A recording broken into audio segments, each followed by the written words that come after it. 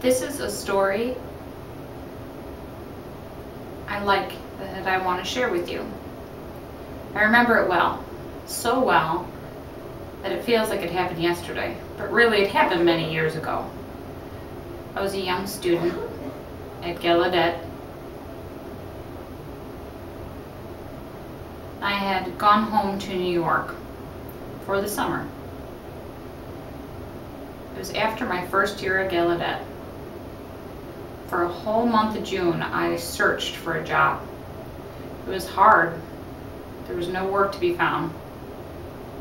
There's so many other students like myself searching for work. Really, it was a very frustrating experience for me. Every time I would go into an office to apply for the job, they would say no, right to my face. No, no, no, I'm sorry. I'm sorry, we have no openings. One morning, I was reading the newspaper and there was an advertisement for a dishwasher at a summer camp.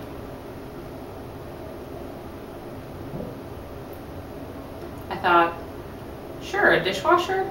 Sounds good. Enthused, I went to the office, which was on 4th Street near 5th Avenue. I was, I was excited. This was my first time. I arrived, I filled out the application, I stood there waiting. Finally, the receptionist called me in. I entered the room. Standing there was the manager. He had glasses on. He looked down at my paper and began speaking. I said, oh, I should probably explain that I'm deaf. Excuse me, I, I don't hear. And he said, what? I'm deaf, I responded. He said, oh. He told me to walk out the door. So I followed his instructions. I went out the door, closed it behind me, and found myself in the hallway next to the elevators.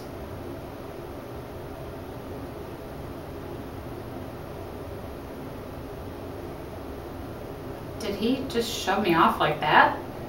Without any explanation?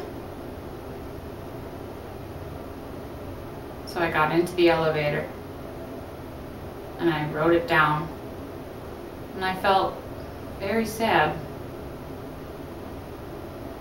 to think he could do that without any explanation. No, it's not required that you have to be hearing to get a job like that. So I went outside into the street. There was a lot of people walking back and forth and bumping into me, and cars bustling around.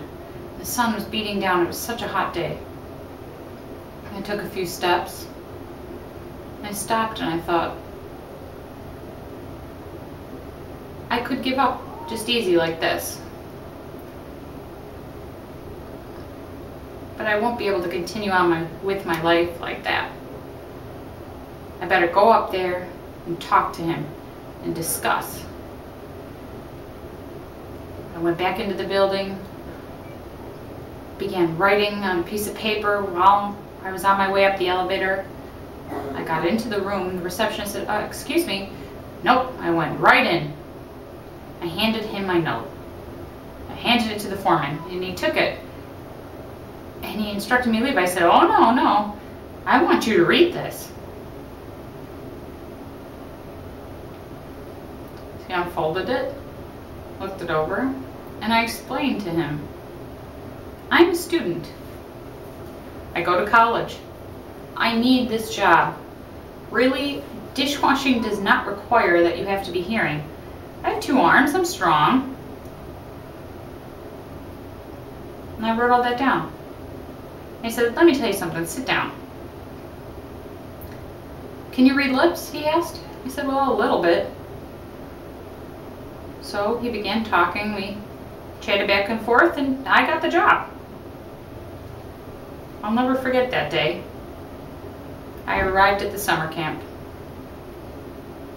It was in Minnesota. It was beautiful out. All the trees and scenery. Everything was gorgeous. I was excited to begin as my as the dishwasher position. I grabbed the dishes, I was getting them in and out, cleaning them. Oh man, did I end up hating that job. But I had to make a living. For a month, I worked like a horse. And on the last day, the camp advisor was looking for volunteers to help a farmer with collecting hay. Oh, I raised my hand. Sure, I wanted to do that. But really, not, well, it wasn't that exciting. I just wanted to get out of the kitchen. so early the next morning, a group of us met up with the farmer and began shoveling the hay. We would load it into a wagon, and that would be brought all the way over to the barn. We worked all morning, lifting and throwing the hay. My hands, they were cut up and blistered. Mm. But I just bear through it and continued to work. That afternoon, it was time for lunch. The group of us grabbed our food, began eating, and once we were finished, we were exhausted.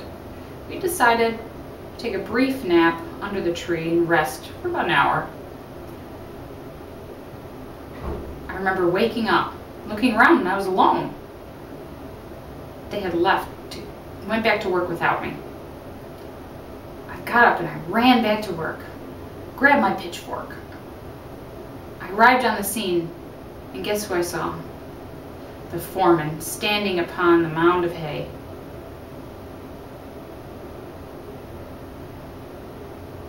He made a face at me just like that. This was my first frustration.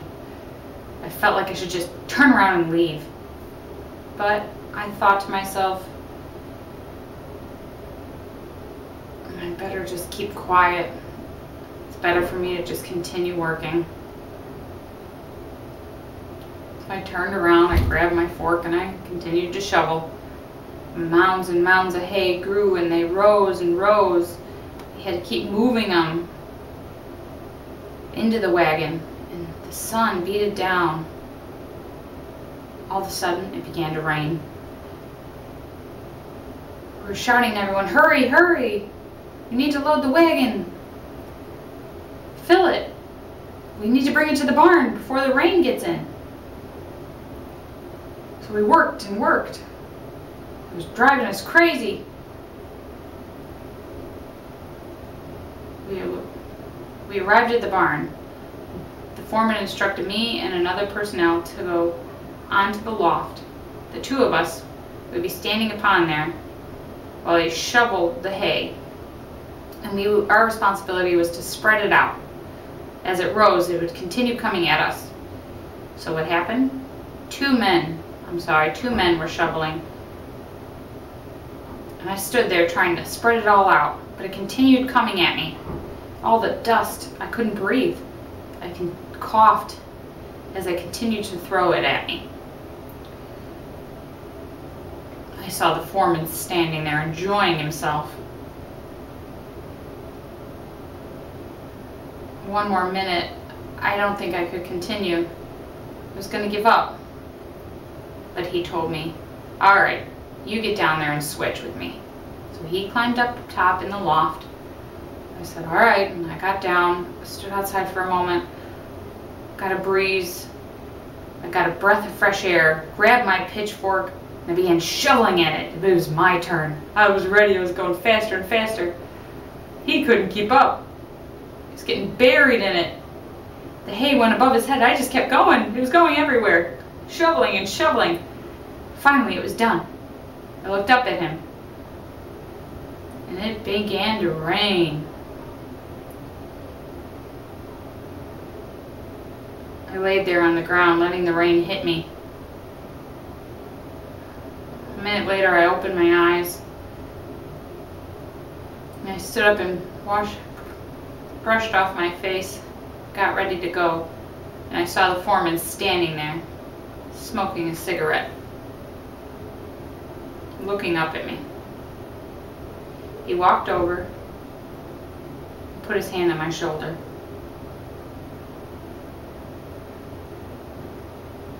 At that moment, felt as if I had been knighted with a sword upon my shoulder.